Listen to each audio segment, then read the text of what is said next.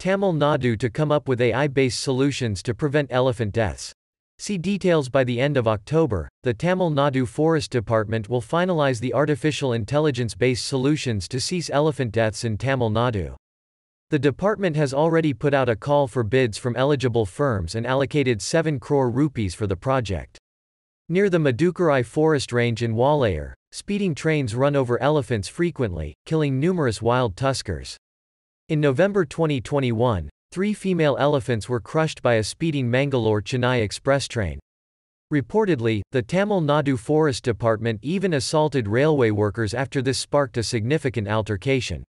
Eight elephants have died since 2010 as a result of being hit by trains traveling at high speeds, according to a right to information query. After multiple meetings between the higher officials of the forest divisions of Tamil Nadu and the Southern Railway, it was concluded that artificial intelligence might be used to protect elephants from being run over by speeding trains. According to sources, the Tamil Nadu Forest Department is also in the process of setting up digital data centers and digital archives, thus making the information at their fingertips. Recently, Supriya Sahu, the secretary of the Tamil Nadu Forest Department, stated that the State Forest Department would rely more on technology for conservation efforts. How does artificial intelligence, AI, work on preventing elephant death? District Forest Officer Venkatesh said, Artificial intelligence works on wireless based systems. Rotational cameras will be installed in vulnerable places where traces of elephants are seen. In this way, if any animal crosses the railway track, the signal will be instantly transmitted through the wireless mode. To put it simply, a wireless communication system is connected to a camera, Thus, monitoring the movement of animals will be at ease.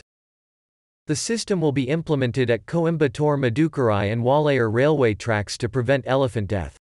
Between Madukarai and Walayar, two railway lines cross the Madukarai forest range. The distance of one stretch is 1.8 kilometers and the other is 2.8 kilometers. Elephant accidents occur frequently on both of these paths since they are popular places for animals to cross. Earlier, GSM via SIM cards was used to monitor animals which faced barriers to transmitting information through towers on the movement of animals. Now, the wireless mode would instantly transfer signals on the movement of animals at any time even during natural calamities. The DFO added that a total of 11 wild elephants were killed on the railway line between Kanjikode and Madukarai stations on the Palakkad Walayar Coimbatore segment in six years. As per recent data, in November last year, Three elephants including two female calves were killed by Mangalore-Chennai Express, while the elephants were crossing the railway track near Marapalam Thatam on a line between Walayar and Madukarai sections.